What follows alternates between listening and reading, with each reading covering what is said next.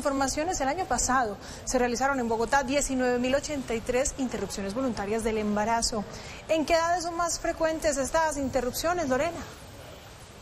Lina, las edades en las que más se repite la interrupción voluntaria del embarazo son desde los 20 años hasta los 24.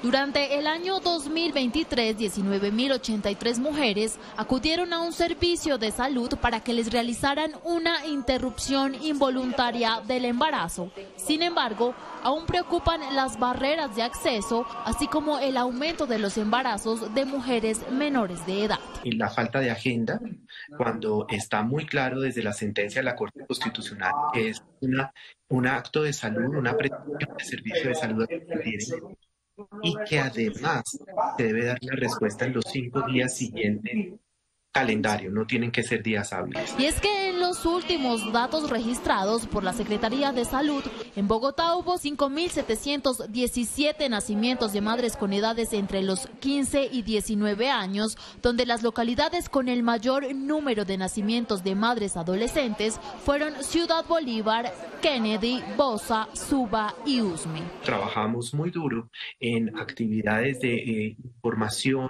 comunicación, para ir liberando prestadores y a las mujeres de este estigma social.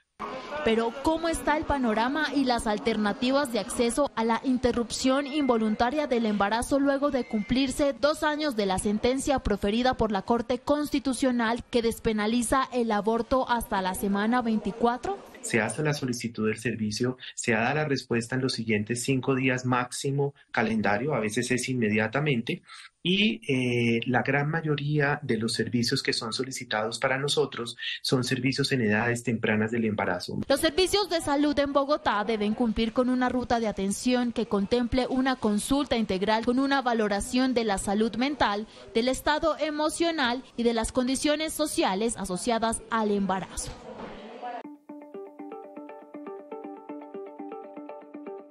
Suscríbase a nuestro canal de YouTube, active la campana y no se pierda las últimas noticias.